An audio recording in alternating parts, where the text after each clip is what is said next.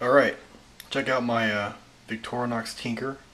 It's just the uh, the regular Tinker. And uh, I've been wanting to upgrade because I've been wanting to, to use this as just like an everyday carry multi-tool. Or, or just really love carrying it around. So I thought I might as well get one with scissors and and uh, I really want the one with the pliers too.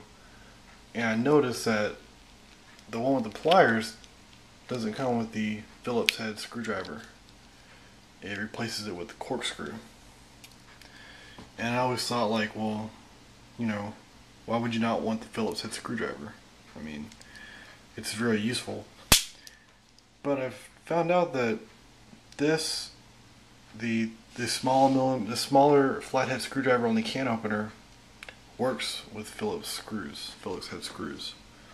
This, for example, it's in a really tight and watch it just go to work there. I mean this this is an older this is an old screw anyways in the dorm room, you know, so it's kind of stripped a little bit, but I guess you really don't need the Phillips head screwdriver. I mean, certainly work better right tool for the right job, right? But the way I see it, I mean, this kind of replaces it. I mean, if you think differently, let me know. But man, that was in there really tight, and I was able to to get it out. Once again, Victorinox, a testament to their quality. There's no play.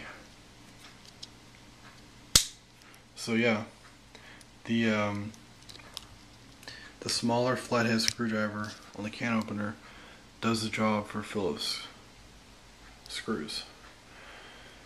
Let me know what you think, if you agree or disagree.